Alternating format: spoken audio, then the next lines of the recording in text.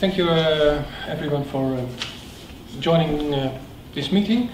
I'm Jan Tjalling van der Wal, I work at Imares and I'll be presenting on a oil spill leak challenge that we have done for the uh, North Sea Checkpoint project.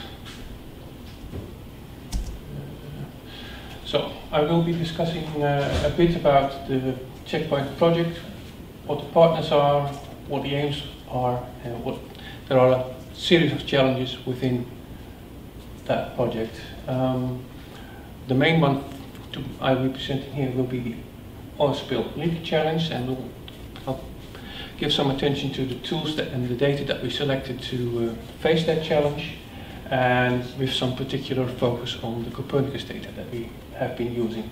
I will be presenting in brief, briefly some of the results of both a rehearsal of the challenge itself, uh, which was at the South Arne platform in Danish waters, and the challenge itself, what happened, which was kicked off just a few weeks ago in the Brent Delta platform, somewhere rather far up north in the North Sea. Um, I will present you a bit about downloading and preparing the data sets because it wasn't all completely ready for use and I'll spend some attention on the advantages of using the Copernicus derived data sets. So the North Sea Checkpoint project is part of the Growth and, in Growth and Innovation in, in Ocean Economy uh, program from uh, DG Mare, the Director General for uh, Maritime Affairs and Fisheries, and it's about gaps and priorities in sea basin observation and data. The project partners are HR Wallingford um, and McAllister Elliott and Partners and Imares. HR Wallingford is um, hydraulic research company uh, in, uh, in England, uh, based in Wallingford, obviously. Um, McAllister Elliott and Partners is a fisheries consulting company based in Southampton, also in England. And then Imares is the is a Dutch institute. We are an applied research institute, non not for profit, and uh, it's an acronym for the Institute for Marine Resources and Ecosystem Studies, and we are part of the Wageningen University and Research Centers, and then we are one of those research centers. The geographical scope of the project is uh, the wider North Sea, including the uh, Skagerrak and Kattegat area, but also a large part of the English Channel. Um, the objective is that we test the marine observation infrastructure for cost effectiveness, reliability and utility and the North Sea was lot one of the, this project because there are a, a lot more. There is the Mediterranean um, lot that was kicked off at the same time as the North Sea in 2013 and last year four more checkpoint projects were launched by DG Mare for the Baltic, the Black Sea, the Northwest Atlantic and the Arctic Ocean. So, um, and you can find all of these at the emodnet.eu, yeah, uh, and then there is uh, basin checkpoints menu choice, and then you can go to either of them. So DG Mare is hoping for, to get a view of synergies that there, there might be uh, available if they combine uh, observation data collection programs. They want to check whether they meet the needs of uh, users, uh, whether there are gaps, uh, stuff that we need, we need to face any of those challenges and what can be done to fill those, whether new technologies might be available that can make things happen faster, easier, or more accurate, or whether we need better uh, temporal or spatial resolution in the data sets.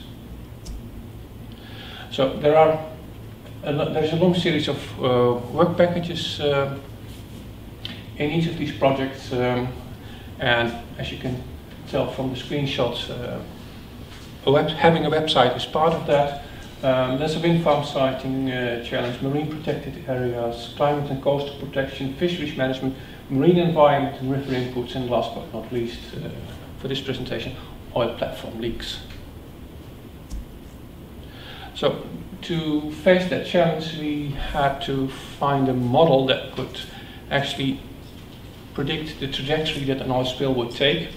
We had a preconceived idea of how we could face that challenge, but um, DG Mare, unfortunately for us, took quite a while to actually grant the project. So by the time we got the project, the initial plan was thwarted.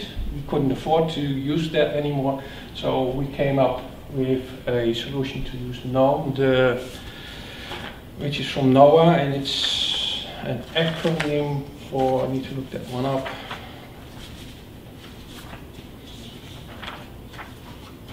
It's the General NOAA Operational Modeling Environment. It is available free of charge. You can find it at the NOAA website.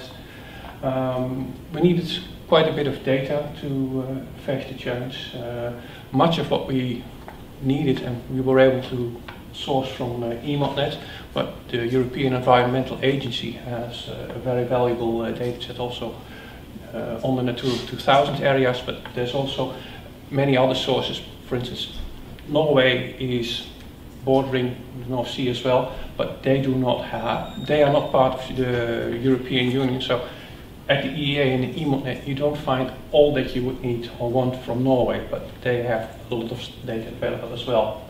So, and then from Copernicus, we used mainly wind and currents. Uh, more on that uh, later. Ah, now, the, now it's showing the pictures. That's wind, these are the currents from the catalog.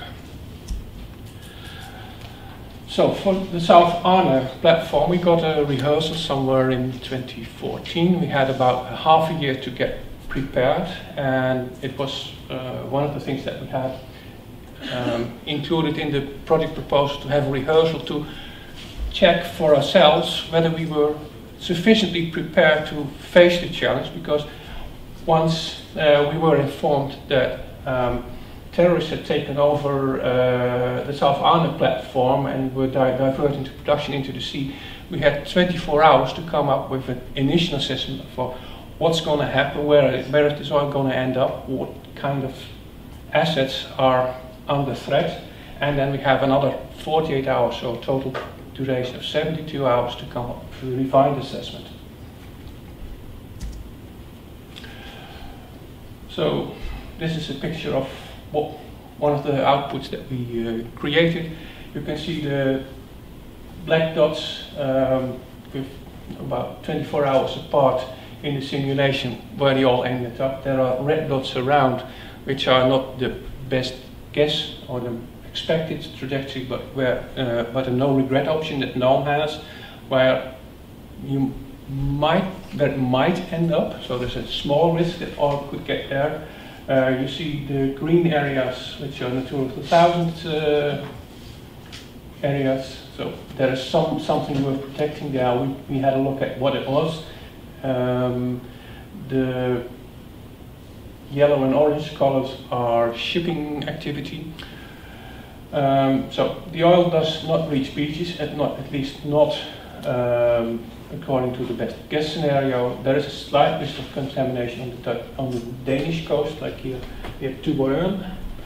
Um, there is some risk to some of the other oil, uh, oil infrastructure, which are the yellow dots, like uh, Siri and Nini platforms, uh, and there's shipping lanes that are uh, being crossed by this uh, area. But there's no major specific risk to biology. There were no fish spawning in the area. There are no large congregations of harbor porpoises or other sea mammals in the area at, at that time.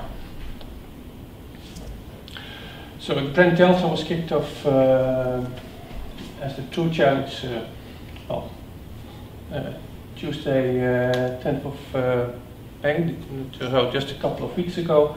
And in this hypothetical scenario, the Brent Delta platform is uh, being prepared for decommissioning, which it is truly is. It's already been shut down, and they were doing work there, and something went wrong, and about 5,000 cubic meters of crude oil would be leaking into the uh, sea uh, in this scenario uh, from a depth of 229 feet into the water column, and they were expecting the leak to be sealed after 48 hours. Um, what we did for this, before we did the 72 hours uh, simulation for the final report, is we got back to the um, EMODnet Secretariat, which were being the director of the, the whole exercise, to confirm whether the 48 hour repair ha had been successful or not, or whether we needed to extend the leak period or whatever, but they told us no, everything went fine, went as expected, so it was sealed after 48 hours in our simulation, and then uh, this is uh, what we got in increasingly darker colors in the final one with uh, a light outline is where the oil ends up in about five days of simulation from uh, from the start of the incident. The red dots are again the the no regret options which shows you that there is a slight risk the, these crosses are beached oil here on the Norwegian coast, possibly also get on the Shetland where there are marine protected areas. Um, we were missing some, uh, some uh, protected areas in, in Norway, but we looked them up uh, during the exercise, but we know they are there, but we didn't find them in something that was readily available, so readily available that we could put it on the map uh, within the time from stage where we having. There's also oil infrastructure uh, there. There is shipping, of course, but um, it's that far up north that the map that we showed before, how can I go back? Not like that. This colorful map with the orange and yellows it stops just south of where we are with the Brent Delta. So, too bad.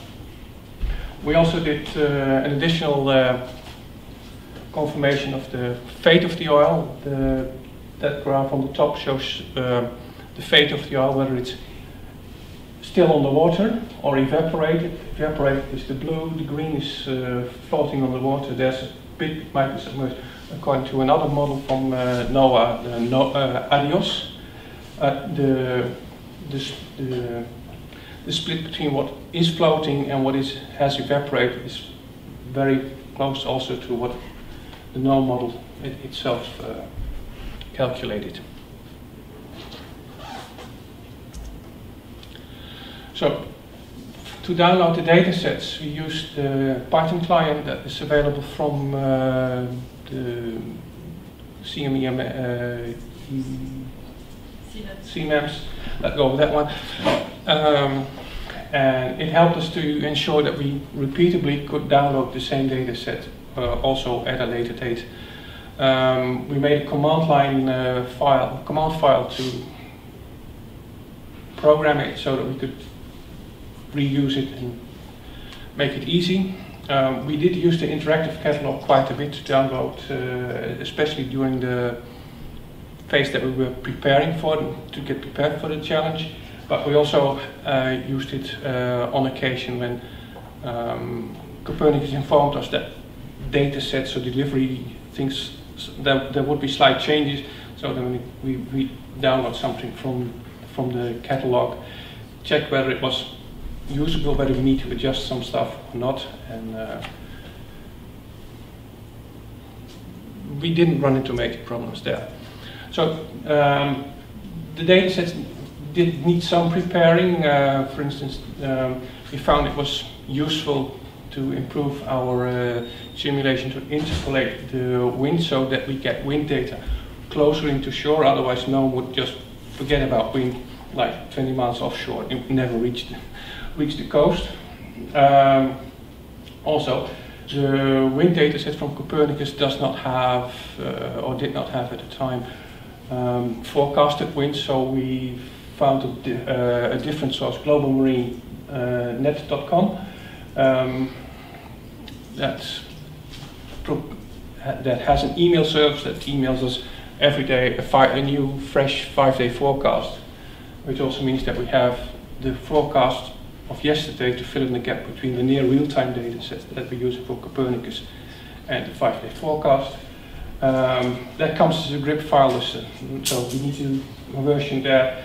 GNOME has fixed expectations about how the variables are named in the netcdf that it wants to read. So we used an, an R script, which is part of that, um, to link the, for, the, the near real time and the reprocessed data with the forecast, do the interpolation, and preparing the, the variable names so it would all fit into uh, no. The currents were easier because the current data set already has a forecast.